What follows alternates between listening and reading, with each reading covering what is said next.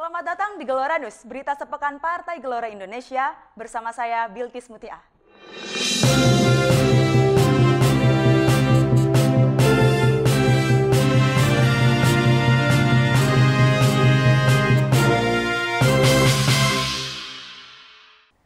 Berita yang akan kami sampaikan antara lain adalah pandangan Gelora atas supremasi Amerika Serikat dan Cina, kunjungan lima pimpinan pondok pesantren dari Sumatera Selatan ke DPN, planner bisnis yang diusul oleh UMKM DPN Partai Gelora, kekerasan seksual di Indonesia, dan DPD Makassar juga Bekasi menggelar vaksinasi gratis.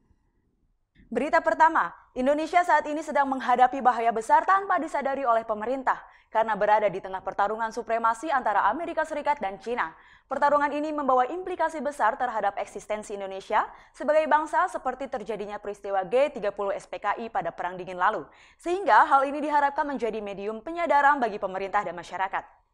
Hal itu disampaikan Anies Mata dalam Gelaratok bertajuk Perang Supremasi Amerika versus China akankah meledak di Laut Cina Selatan yang digelar Rabu 22 September 2021 lalu dan disiarkan secara live di channel YouTube Gelora TV. Diskusi Gelaratok ini dihadiri pakar hukum internasional Hikmahanto Juwana, pengamat militer dan pertahanan Koni Rahakundini Bakri, serta mantan Kepala Bais TNI Laksda TNI Pursoleman Beponto. Partai Gelora, kata Anies Mata, ingin mengingatkan pemerintah untuk lebih berhati-hati lagi karena perang supremasi Amerika Serikat dan China merupakan isu strategis. Menurutnya, Indonesia harus memiliki skenario sendiri dan mencari celah untuk mengamankan kepentingan nasionalnya. Bukan sebaliknya, mengikuti drama yang dibuat Amerika Serikat dan China. Indonesia perlu arah sejarah baru untuk mendapatkan manfaat dari celah tersebut, yakni menjadi kekuatan kelima dunia. Jadi kita ingin menyalakan uh, sirede sebenarnya, peringatan kepada masyarakat kita, kepada pemerintah kita, bahwa sekarang kita perlu sangat berhati-hati, perlu waspada, karena kita sedang berada di tengah pertarungan yang pasti akan punya implikasi besar bagi kita. Jangan sampai kita jadi collateral damage. Berita berikutnya, pada Rabu 16 September 2021 lalu, DPN Partai Gelombang Rakyat Indonesia kedatangan tamu istimewa, lima pimpinan pondok pesantren dari Kabupaten Musirawas Utara, Sumatera Selatan. Mereka disambut langsung oleh Ketua Umum Partai Gelombang Rakyat Indonesia, Bapak Anies Mata, Wakil Ketua Umum Bapak Fahri Hamzah, dan Sekretaris Jenderal Bapak Mahfud Sidik. Silaturahim lima pimpinan pondok pesantren ini dipimpin Ustadz Darussalam, yang juga merupakan Ketua DPD Partai Gelora Kabupaten Musi, Rawas Utara.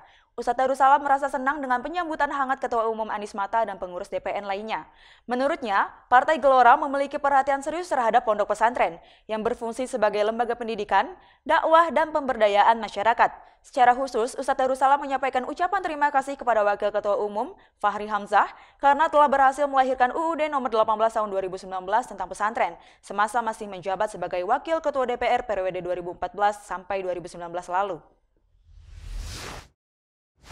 Berita selanjutnya, pelaku UMKM perlu membuat konten planner sebelum memulai bisnisnya dengan menjual produknya di media sosial seperti Facebook dan Instagram. Konten planner diperlukan untuk memahami produk bisnis apa yang laku dijual dan market yang dituju, semacam riset pasar terlebih dahulu. Sebab pengguna internet di Indonesia saat ini sebagian besar adalah generasi milenial dan generasi Z. Kita perlu mengetahui produk bisnis kita sebenarnya, segmen pasar raya yang tepat untuk siapa. Di samping itu, perlu diketahui juga benefit yang akan didapat sehingga mereka memiliki pengalaman dari pembelian produk yang kita jual. Setelah itu, yang harus dilakukan menentukan kapan konten planner dipublikasikan di internet atau media sosial untuk memulai bisnis tersebut. Hal itu tercatat dalam segmen Cuan Yu yang digelar Partai Gelombang Rakyat Indonesia pada Sabtu 18 September 2021 lalu dengan tema konten planner Facebook, Instagram, serta pembuatan ads. Cuan Yu ini dibuka oleh Ketua Bidang UMKM dan Ekonomi Keluarga, Sri Wulandari, dengan narasumber Ayu Hayatunisa, konten kreator dari Inovasika, sebuah perusahaan digital marketing agency. Berita keempat, Ketua Bidang Perempuan DPN Partai Gelombang Rakyat Indonesia, Rati Sanggarwati mengatakan, berdasarkan data Komnas Perempuan, kasus kekerasan seksual di Indonesia masih sangat tinggi. Terdapat 35 perempuan setiap harinya yang menjadi korban dengan mayoritas kasus pemerkosaan dan pencabulan.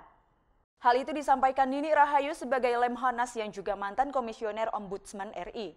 Menurut Ratih, kasus kekerasan seksual selama ini sulit diungkap dan ditangani karena korban takut untuk melaporkannya.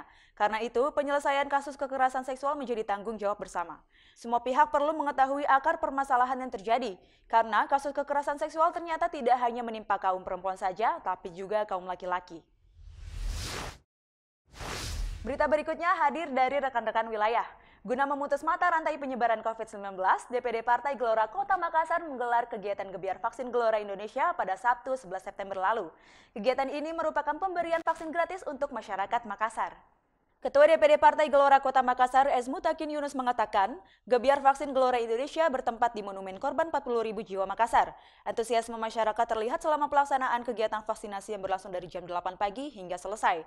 Gebiar vaksin Gelora Indonesia tersebut dihadiri Camat Alo Aulia Arsyad dan Lurah Lantang Ismunanda, dua perangkat di pemerintahan Kota Makassar.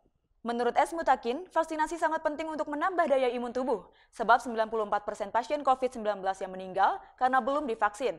Sehingga untuk melindungi diri kita dan keluarga, jangan menunda-nunda untuk vaksin, katanya. Berita terakhir hadir dari rekan-rekan wilayah Bekasi. Untuk mengejar herd immunity, Partai Gelora Kota Bekasi mengadakan vaksinasi massal pada Sabtu 18 September lalu. Vaksinasi massal ini digelar di kantor sekretariat TPD yang berlokasi di Jalan Insinyur Haji Juanda, Kota Bekasi, Jawa Barat. Vaksinasi ini terlaksana atas dukungan dari Dinas Kesehatan Kota Bekasi dengan pemberian vaksin jenis Sinovac untuk dosis pertama dan kedua. Acara ini turut dihadiri Wakil Wali Kota Bekasi, Tri Ahdianto, Ketua Bidang Politik dan Pemerintahan DPN Partai Gelora. Tri Ahdianto menyampaikan terima kasih kepada Partai Gelora atas penyelenggaraan vaksinasi massal ini. Kegiatan ini dinilainya telah membantu pemerintah Kota Bekasi dalam mempercepat herd immunity. Sementara itu, Ketua DPD Kota Bekasi Arianto Hendrata mengatakan, vaksinasi merupakan wujud kolaborasi Partai Gelora dalam mempercepat herd immunity di Kota Bekasi. Arianto menyampaikan terima kasih atas antusias masyarakat Kota Bekasi dalam vaksinasi ini, sehingga kuota pendaftaran penuh tidak sampai seminggu. Sekian Geloranus pekan ini, saya Beges Mutiah pamit undur diri. Saksikan Geloranus setiap Sabtu jam 7 pagi hanya di Gelora TV. Selamat berakhir pekan.